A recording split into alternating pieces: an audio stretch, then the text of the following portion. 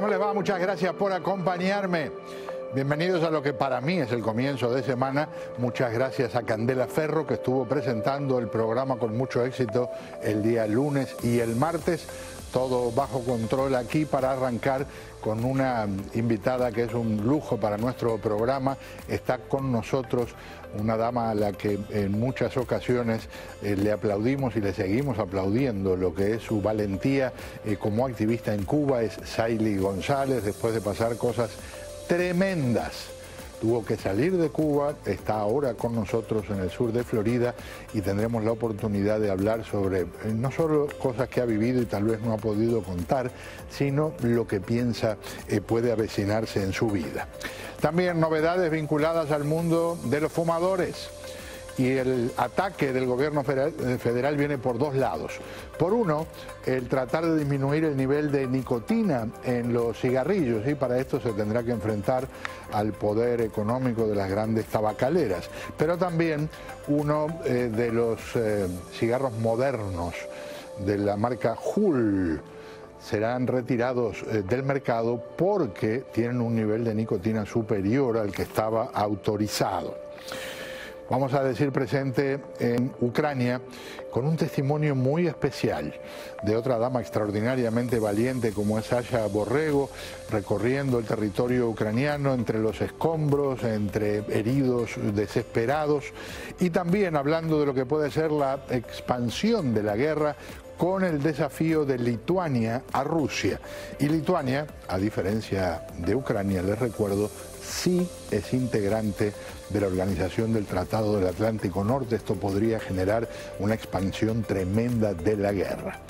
Y una más, una que genera indignación cuando vemos imágenes de una cantidad de policías con rifles, con los escudos necesarios para entrar en el salón de clase donde estaba el asesino que se llevó por delante la vida de tantas criaturas y sin embargo aceptaron la orden del que estaba encargado en ese momento de esperar a que llegaran refuerzos.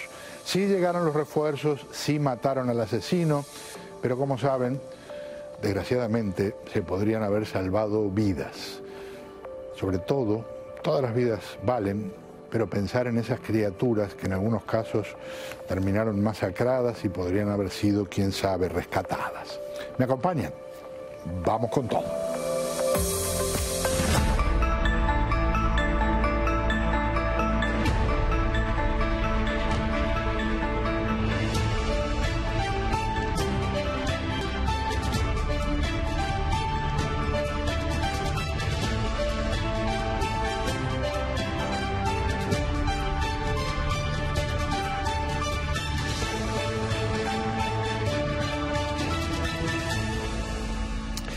Le quiero dar un punto de referencia antes de presentarles a, nuestra invitada. Casi nunca me ha tocado ver que todo nuestro equipo eh, salude con el cariño, con el entusiasmo eh, que la saludó. Y por ejemplo, veo, entre otras cosas, a nuestro director de escenografía, que normalmente hasta ahora está en tareas eh, vinculadas a lo que es su vocación, y que llegó a ver para conocerla personalmente porque aquí ha despertado muchísima admiración, mucho cariño, mucho respeto. Hablo de Saily González. Gracias. Esto no ocurre. Es la primera vez que hay un aplauso así para una invitada en nuestro programa. Eh, primero, bienvenida. Gracias, Pedro. Es un placer. Y entonces, como te decía, qué gusto conocerte ahora en persona lamento las circunstancias, porque sé que en este momento aquí no estás en peligro y eso me da alegría. Por otro lado, sé que allá queda un espacio muy grande eh, que tú llenabas con, tu sabiduría, con tu valentía, eh, con ese, por más que estés con falda, esos pantalones tan bien puestos que tienes en lo que tiene que ver con, tu fuerza espiritual, moral. ¿Cómo te sientes? Eh, me siento, me siento bien me siento bien, me siento tranquila, me siento a salvo. Me siento a salvo y me siento comprometida con lo que dejé allá. Cuando dices eso, lo primero es, ahora tienes que por un tiempo tratar de adaptarte a lo que es esta nueva circunstancia, ¿no? El estar en un nuevo mundo. De lo que dejas, ¿qué te golpea más en el corazón? La posibilidad de yo haber sido una privilegiada en el sentido en el que llegué directamente gracias a bueno, la invitación a la Cumbre de las Américas y la visa que me dieron en consecuencia, mientras tantos cubanos tienen que venir de manera insegura, mientras tantos cubanos no han podido llegar aún estando con las mismas amenazas e incluso amenazas más graves como Thais Marlene Franco con sus hijos, otros que han salido y que aún no han llegado de manera ilegal, como por ejemplo los doctores eh, eh, de Holguín, que dos de ellos aún, Alexander y Pupo, aún no han podido llegar y están pasándola muy mal. Y yo creo que eso es lo que más me, lo que más me choca. ¿no? Tal vez un poquito de, la culpabilidad de tener, de tener este privilegio. Como tantos que he tenido, yo siempre he sido muy privilegiada. Pero, ¿Culpabilidad por qué? No sé, porque no, yo creo que hay otras personas que, que lo merecen más que lo merecen más. Sabes que hay un, hay un síndrome muy curioso, ahora que lo mencionas, no se me había ocurrido, porque hay un síndrome de culpabilidad cuando hay un accidente, por ejemplo, y la persona que sobrevive eh, muchas veces en vez de festejar el hecho de que está viva, está espantada pensando por qué yo sobreviví y los demás no. Y de alguna forma me parece tal vez que, en este comienzo, ¿no? Hay como, como ese shock en términos de, ay, yo podía ayudar allá de esta manera, de esta otra. Quiero compartir con nuestros televidentes, lo han visto, pero quiero compartir, eh, por ejemplo, eh, imágenes de un acto de repudio que le hicieron en su momento a Saili algunos de los miserables.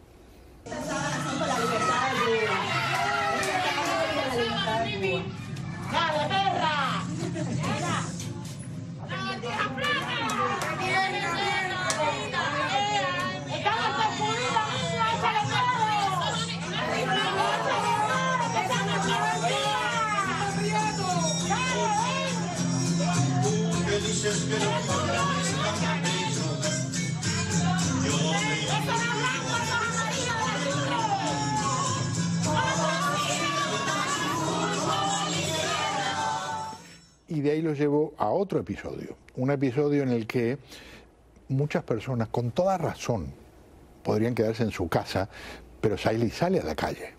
Saily sale a la calle y sabe que se avecina un ataque, incluso lo anuncia, ahí vienen. Y por supuesto, por la espalda, como funcionan en estas circunstancias los cobardes, la ataca un integrante de, no sé cómo llamarlo, porque uno dice seguridad del Estado, ¿verdad? Bueno, sí es seguridad del Estado, es seguridad de la, de la dictadura.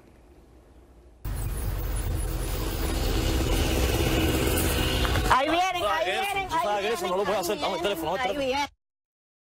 ¿Sabes que eso no lo puedo hacer? ¿Por qué tú haces eso? ¿Que yo no puedo hacer qué? ¿Puedes hacer eso? ¿Que yo no puedo hacer qué? No, no, no, no, ¿Pero por qué? ¿Pero por qué?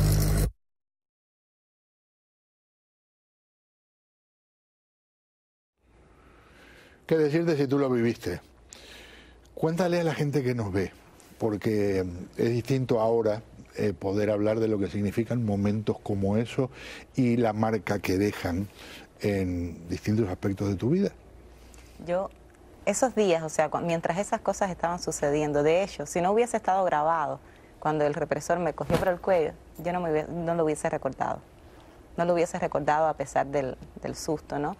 Y, tal vez estos, los actos de repudio también son cosas que yo en aquel momento, mientras lo vivía, lo veía, con, lo veía como algo extremadamente ridículo. Me pasa ahora, mientras los estaba viendo, y me pasó también hace poco cuando intenté compartirlo nuevamente, lo compartía en mis redes sociales para que las personas, para que se quedara ahí, fijaba la publicación, para que nadie olvide que en Cuba se hacen actos de repudio y que la Federación de Mujeres Cubanas es una federación machista y es una federación que sirve al fascismo y al terrorismo de Estado que ejerce el gobierno cubano. Y cuando yo estaba buscando esos videos, que los veía, fue doloroso, fue muy doloroso. O sea, es, es doloroso verlo, es doloroso ver cómo en el siglo XX, en el siglo XXI, en el año 2022 del siglo XXI, aún esas cosas suceden. ¿Cómo un gobierno es capaz de ejercer de tal manera el terrorismo de Estado contra sus ciudadanos simplemente por disentir? Y además, en consecuencia, porque si disientes quieres hacer algo, quieres cambiar el orden de las cosas y, y hacer en ese sentido, algo que es tan humano, digo yo, ¿no? Es, es doloroso. Eh, el 11 de julio fue una jornada histórica, se abrieron muchas esperanzas, eh, la dictadura procedió como lo hace habitualmente, esta vez con un nivel de, crueldad tremendo, incluyendo menores de edad, etcétera. Ahora están en la etapa incluso de tratar de cambiar, de tratar de cuando hablo de cambiar, de imagen, ¿verdad?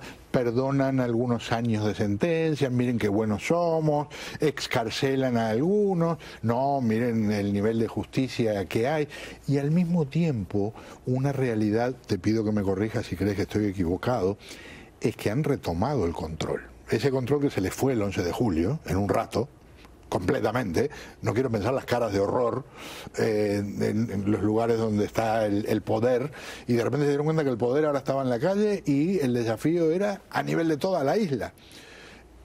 ¿Sí sientes que después del 11 ganó eh, terreno de vuelta a la dictadura o crees que se plantó algo que... A ver, yo no creo que ellos hayan tomado el control. Yo siento Cuba como un lugar cada vez más descontrolado. Tengo total confianza en que va a haber pronto otro estallido social. Tengo confianza y tengo miedo también, porque ya sabemos cómo actúan. Ellos no tienen pudor, o sea, en ejercer la violencia como lo han estado haciendo últimamente contra los activistas cada vez de manera más, más fuerte, ¿no? Y en ese sentido temo. Pero yo no creo que ellos tengan el control. Yo se los decía en mis interrogatorios, en los últimos que tuve, yo les decía, ustedes tienen el poder, pero ustedes no tienen el control. No tienen el control sobre mí, no tienen el control sobre esa generación que salió fundamentalmente el 11 de julio, de la cual hubo, o sea, que hay niños presos todavía, niños presos políticos en Cuba, no tienen el control sobre la generación de, mi hermano, por ejemplo, y de los más pequeños, que no vivieron aquellos discursos interminables de Fidel Castro y aquello, bueno, y que además tienen internet al alcance de caro, eh, costoso y y, además bastante deficiente, pero lo tienen también.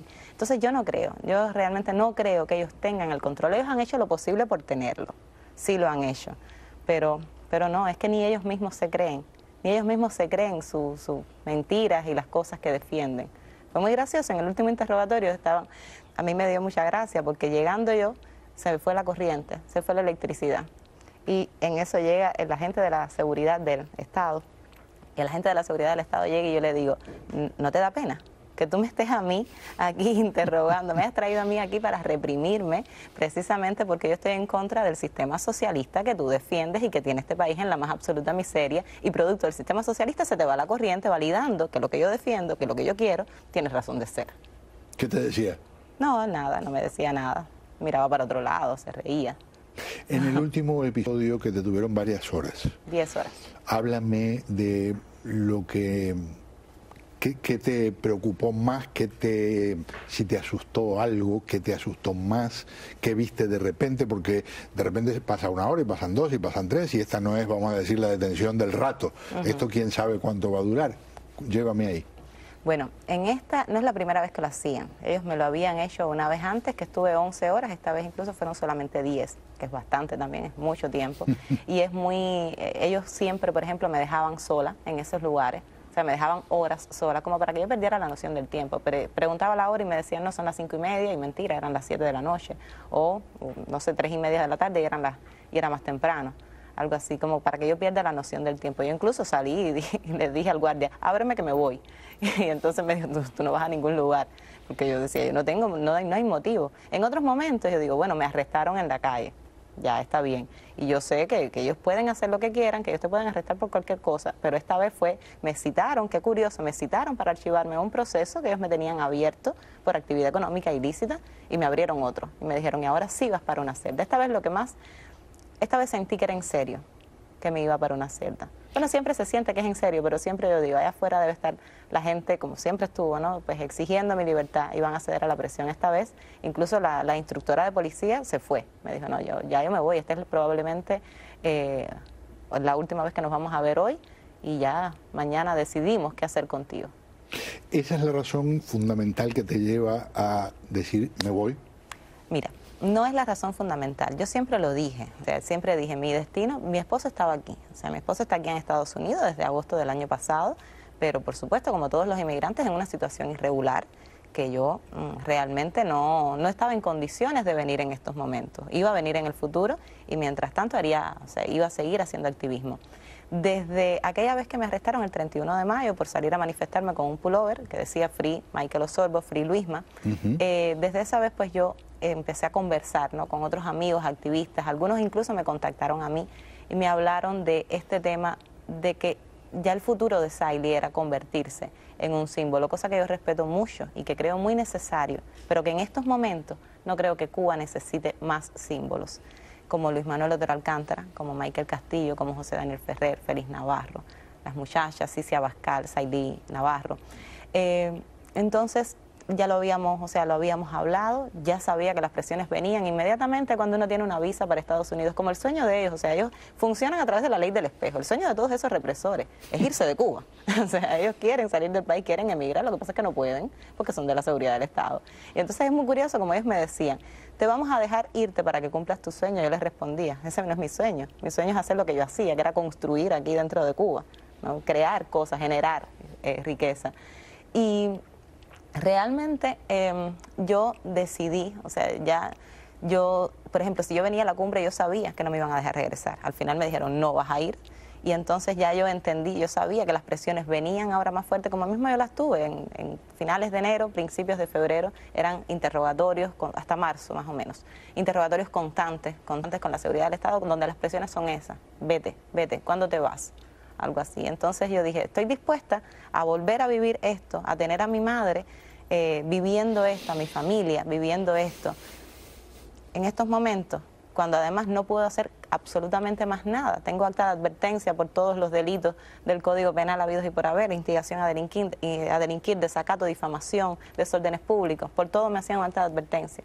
Entonces dije, bueno, ya, es el momento, ok, cedí y punto. ¿Te quedas unos minutos más? Claro. Tengo que hacer una pausita y seguimos conversando. Eh, aquí vas a encontrar muchos amigos. También vas a encontrar gente que te va a criticar. Podemos hablar de eso en un instante, ya regresamos.